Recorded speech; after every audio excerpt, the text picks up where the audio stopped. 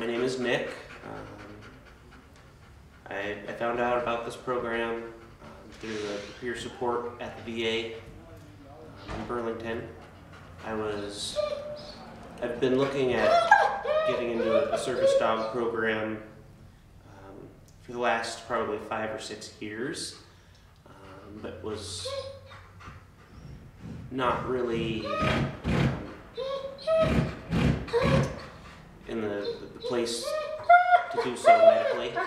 So uh, as part of the like screening process for their program, they needed like information from the doctors, and so I, I went in and you know asked my doctors for like a letter of support um, for getting into a, a service dog program, um, and in doing so, the doctor talked to the, the peer support guy and he was like, well, we actually have this local program that she's, she's down in Bennington uh, that you might give a try and, you know, check, at least check it out. And so I, I got online and researched a little bit and then contacted Michelle and um,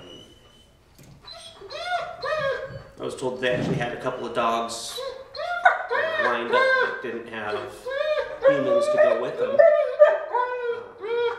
So I, I loaded up my family and came down for a weekend and we came and checked out the facility.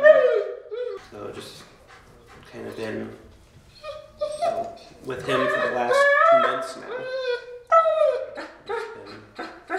now. Working. We're going to be training him to do uh, lift assist. I've got some spinal problems that are going to continue to get worse as I get older. So having the ability to have something there to get me up when I go down um, is going to be huge.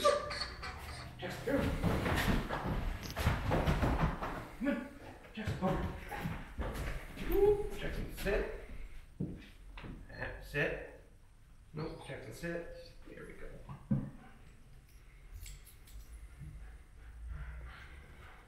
No, leave it, Jackson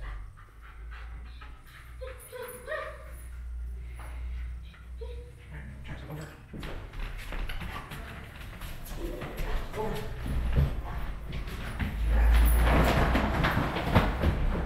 Go on the wall. Crazy boy. No. You're not gonna go see your sister. We'll see her later.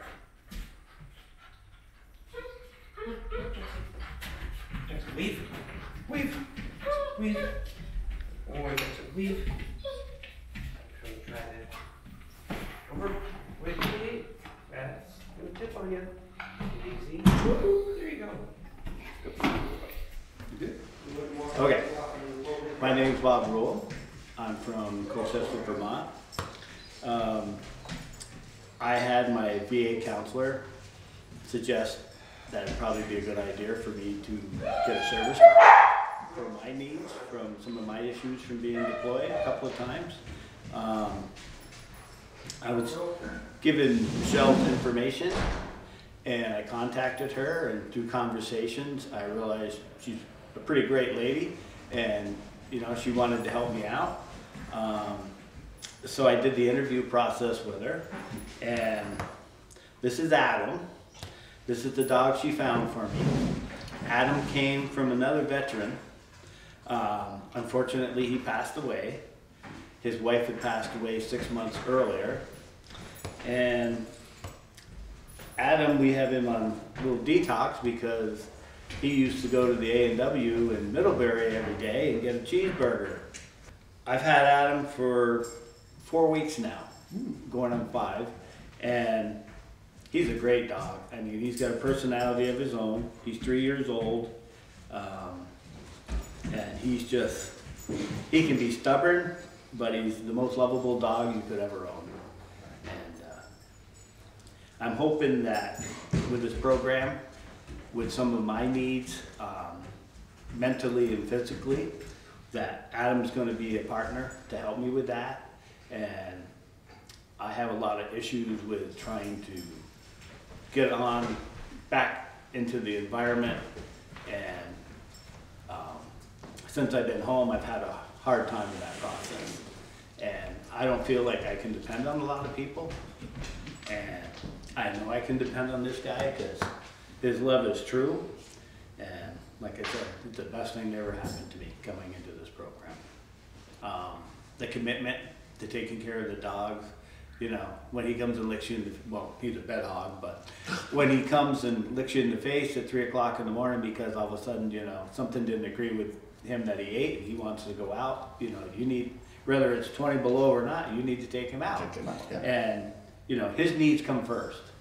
And that's good because that, that's, that's a healthy thing for me because once again, I'm feeling useful and needed and there's a commitment and that's a strong commitment. You know, we're partners, so you need to take care of your buddy. And so, and with coming down here, it is, it is a, a hard commitment. Um, financially, you know, it, it could be a burden. I would like to see the VA do more for people in this process. I think the VA's geared more toward, they'd like to send you to California, pay fifty thousand dollars for a dog, and send you there for three weeks, and you don't even know if you're gonna bond with the dog you're getting. Right. Michelle, on the other hand, does an outstanding job. She, you know, before we even started training, I was introduced to Adam, and from that moment on, she was there observing how the dog was acting to me and how I was acting to the dog. And she won't even start doing the program until she's sure that the dog's committed to you and you're committed to the dog and the bond's gonna be strong. Right. Um, It's a very strong bond now, Obviously. and, and that's, this is just a short period of time.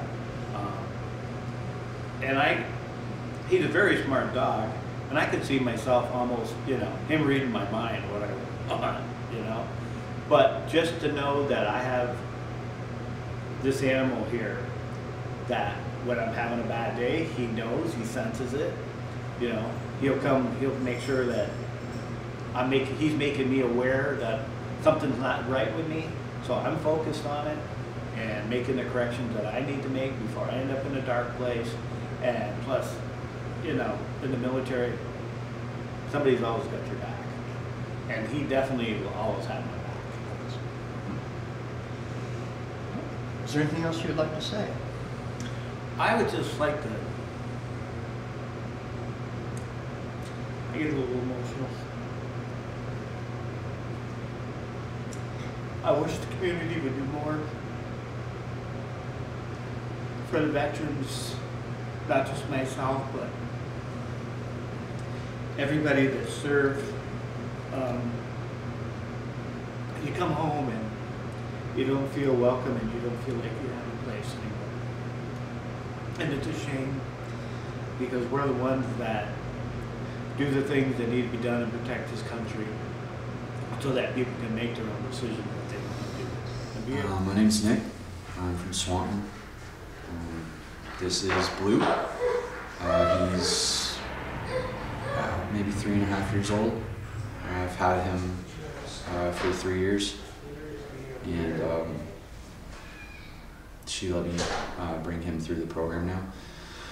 Um, uh, I'm a disabled vet. I'm on 100% um, unemployability for PTSD.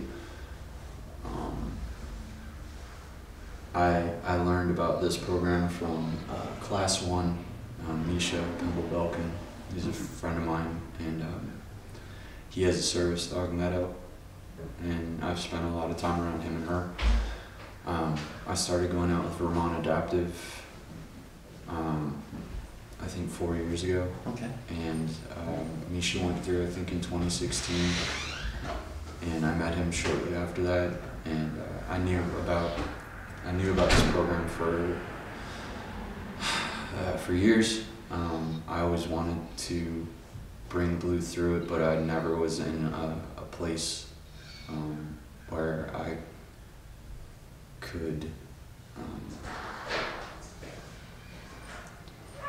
I- or I could make a phone call, or I could send an email, or anything like that. Um, I was uh, just think that stuff is not for me; it's for other people, and I'm not supposed to be using any of the services. They're for you know way more, way more.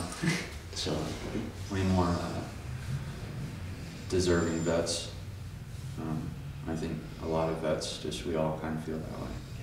So, you know that that stuff's not for me. That's for X, Y, and Z. And if you can't see, if you can't visibly see my scars, then yeah, it's not really, it's not really real.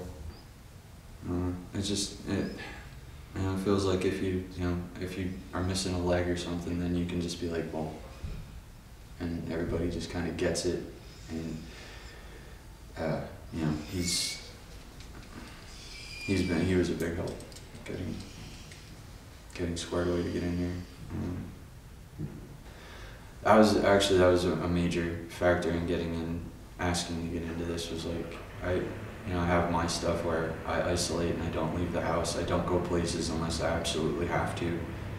I mean, like, I won't go into the grocery store unless like I absolutely have to, and even then, it's it's really there's just a lot of stupid stuff that's really it seems so benign for everyone else, but it's like I can't do it, and I, I it makes me feel horrible inside, and uh, so I I had been depressed for like the last two years, like really hard, and I wanted to get to a place where I felt like I felt like he wasn't. I felt like I wasn't being uh, as attentive, or I thought I, I wasn't.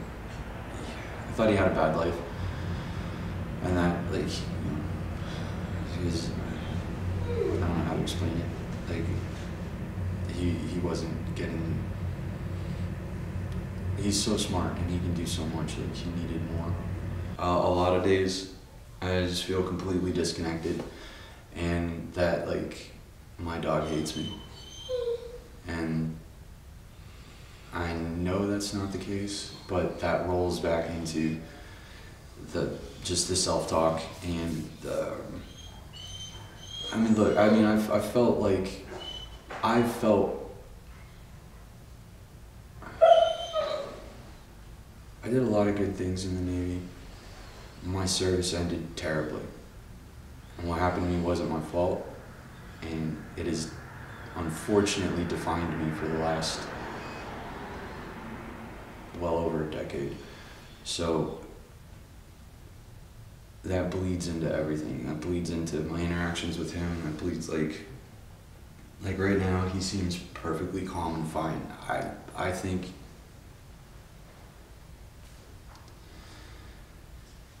I don't even know. So, um, like, if anything from this, I just want him to be happier. I want me to be able to go places. I'd like to regain some confidence that I just don't have.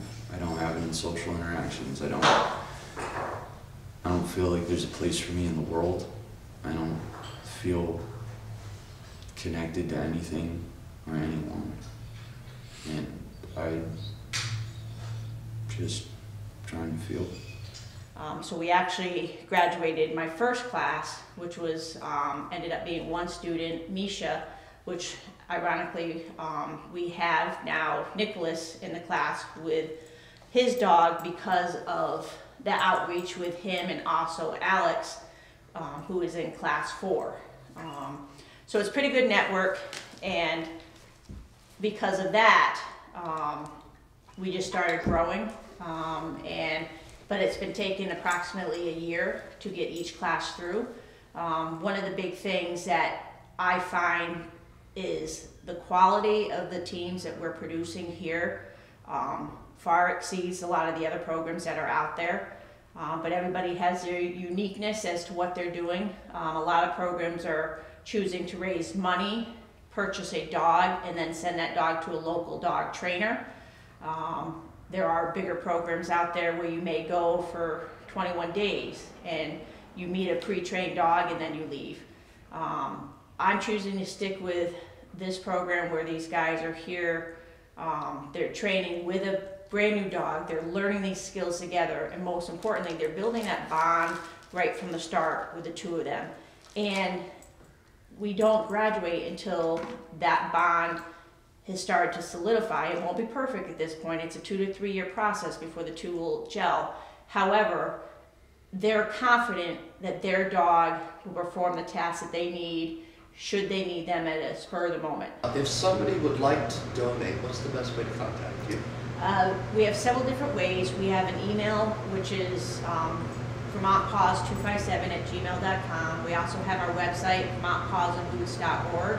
We have our Facebook site. Uh, we now have a Twitter site. I haven't gotten into TikTok or anything of that yet. Um, but, and we also, you know, have the good old fashioned US mail, you know, and that's Vermont Paws and Boots at P.O. Box 257. Um, and there's a lot of meaning behind everything having a 257 at the end because that was my police K-9's number. So it's easy. Thank you very much. Thank you.